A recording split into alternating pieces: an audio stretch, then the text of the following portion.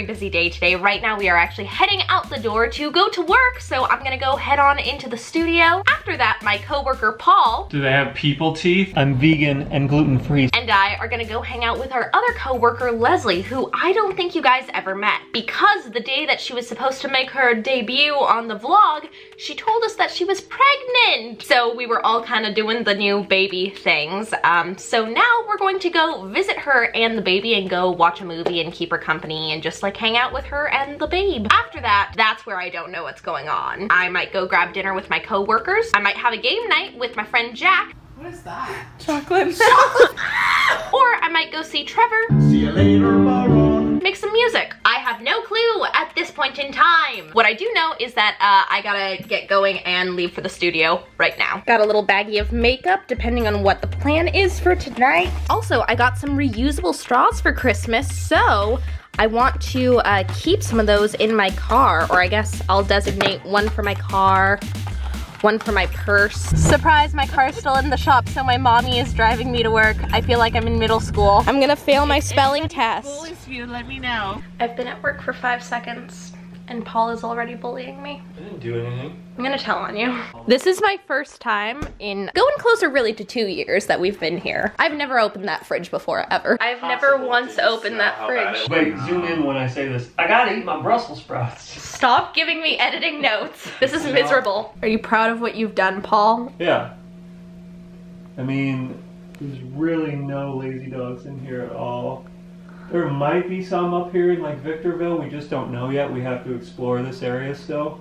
But there's nothing in LA. You gotta go all the way over here or down here. If you can't tell, we're trying to decide where to go to dinner. I pitched Lazy Dog. Where are you?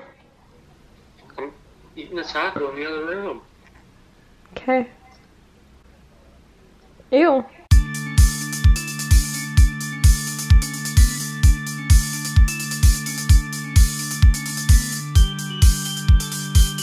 It's movie night. It is? Yeah. Oh, let's go watch Lady Bird.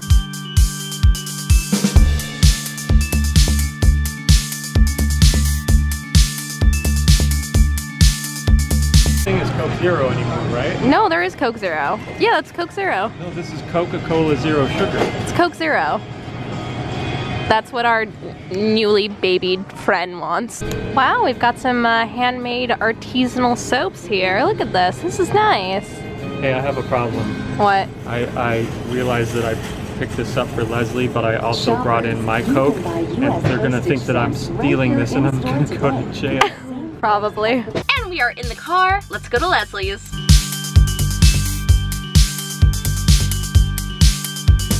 Leslie, do you want to say hi? Is baby okay to be on camera? Yes. okay, well this is Leslie, everyone, and Paul is the baby whisperer. This is sweet baby Luca. Yay, Leslie. Yay, baby. No, he, I tried to get him away, but he flipped you off. I deserve it. We're starting early.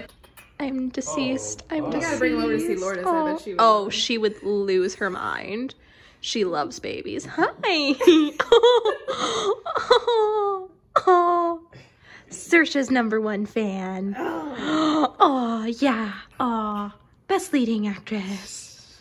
Best leading actress. All right.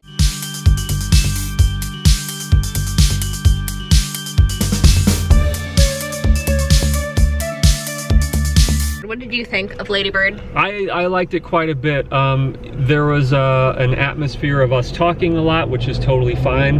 I'd like to watch it again, but but I, as best as I can tell, I, I, I thought it was cool.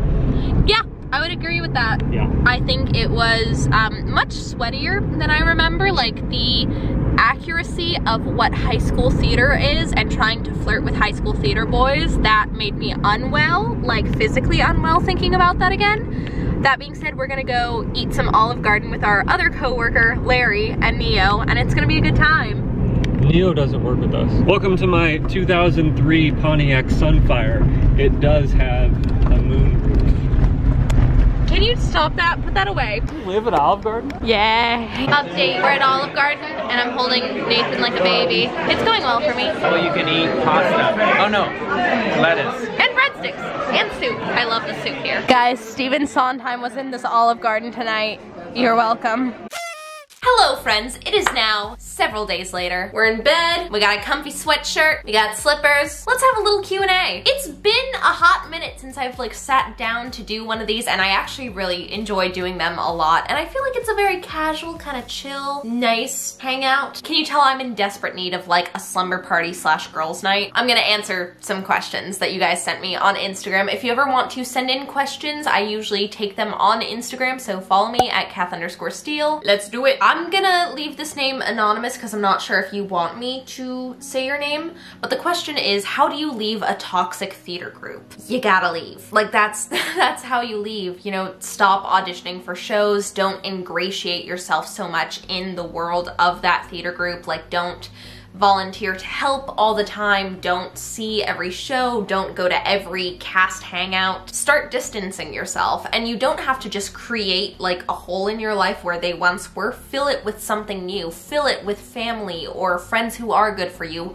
or a different theater group or a new hobby. Replacing something bad in your life with something good is way easier than just taking something out and leaving a big chunk in your heart. I'm so sorry that you're dealing with that. Toxicity is not fun, so sending you lots of love. I'm gonna leave this username anonymous as well. How do I deal with a friend treating me badly because I got a bigger role than her? I love you, love you too. I would say if someone's treating you badly over a role, A, that person's not your friend, or B, they're dealing with some heavy emotional stuff that really doesn't have anything to do with you. It really has to do with their own lack of confidence, lack of maturity, because it's not a normal healthy thing for someone to treat you badly just because you got a part that they wanted. Jealousy is definitely a real thing, but um, yeah, that's not on you. It's definitely difficult to deal with, but I would say if this is someone that you really value as a friend and you love your relationship with them,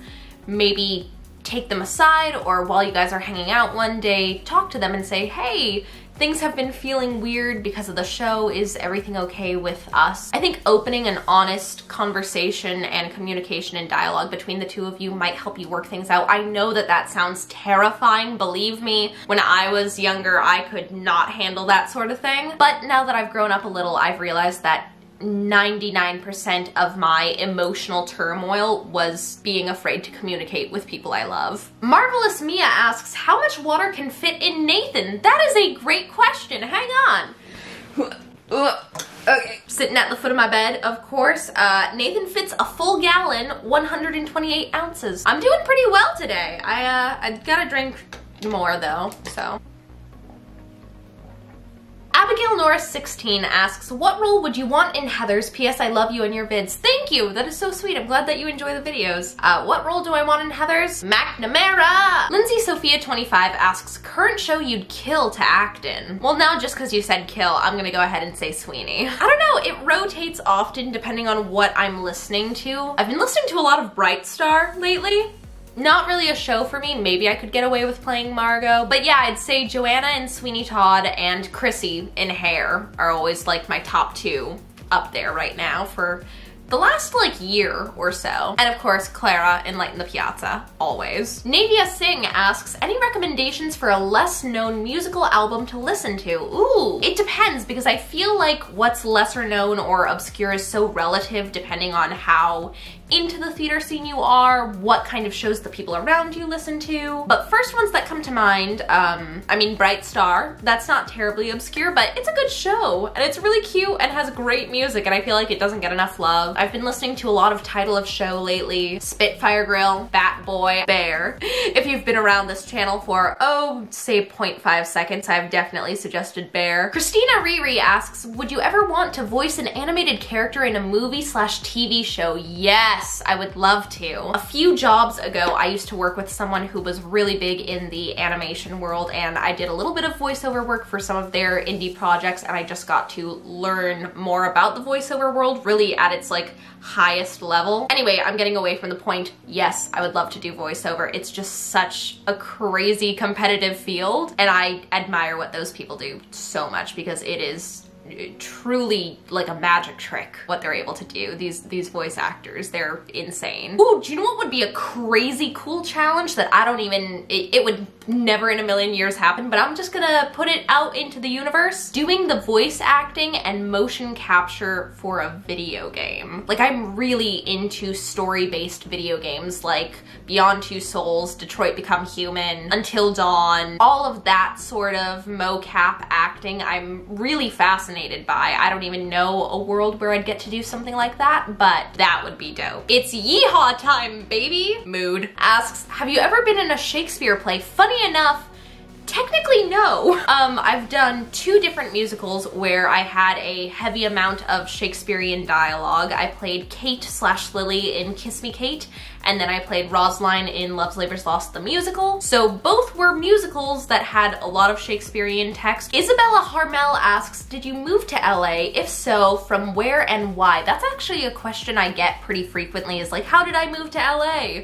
The answer is I didn't. I was born and raised here, actually. I am a California baby through and through. I disintegrate if the weather is lower than 60 degrees. My blood is made up of In-N-Out spread. Celine Planata asks, what are your tips for having a good connection with your scene partner? I'd say my number one tip is to be their friend off stage or off screen. It's just so much more comfortable and so much more freeing and you feel safer to fail when you have a little bit of a relationship with that person. It's it's just infinitely more comfortable and you get to kind of explore more layers when you feel comfortable with them. Adele Prado asks, have you had any mishaps during a show?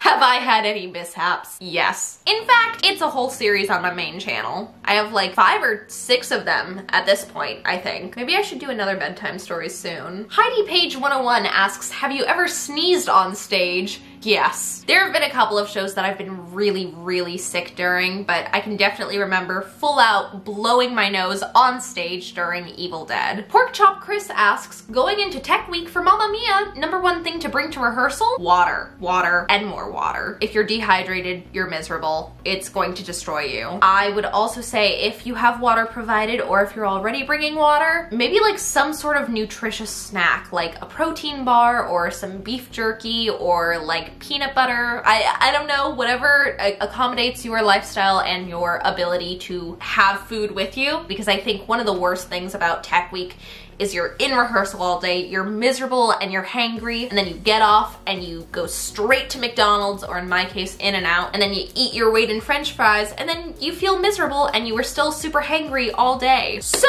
there you guys go. I hope you enjoyed the first vlog of 2020 and this little Q&A. Let me know if you want more Q&As in the future because I enjoy doing them. I think it's a nice kind of informal way to hang with you guys. If you liked this video or if you're excited for more vlogs in the future, give this one big thumbs up. If you're new here, hit subscribe. I hope you guys are having a great day. I love you so, so much. Break a leg, and I'll see you guys next time. Bye!